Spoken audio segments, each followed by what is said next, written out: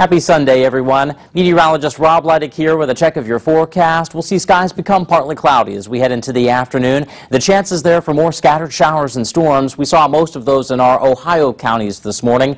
Everyone will have the chance for some pop-up showers and storms as we head through the afternoon. We're not expecting widespread severe weather, but I think some of these storms will once again have the threats to produce some gusty winds, maybe some large hail, and some heavy rainfall as they do move through the region. Looking at those temperatures climbing into the low to mid 80s 80s today. 84 is our forecast high here in Fort Wayne. Shower and storm chances will eventually come to an end this evening. We will be looking at mostly clear and mild conditions overnight with temperatures in the lower 60s. Some patchy fog maybe for your morning commute tomorrow. Otherwise looking at mostly sunny conditions. Once again, we have the chance for a few isolated showers and storms, maybe not quite as likely as we'll see out there today. Looking at temperatures tomorrow, that'll be in the mid 80s once again. Tuesday is looking dry and 86 degrees with mostly sunny skies skies. Our best chance for rain this week will be on Wednesday and into Thursday with an area of low pressure that is set to move through the Midwest. After that, we're at 81 for Friday, 82 for the beginning of next weekend.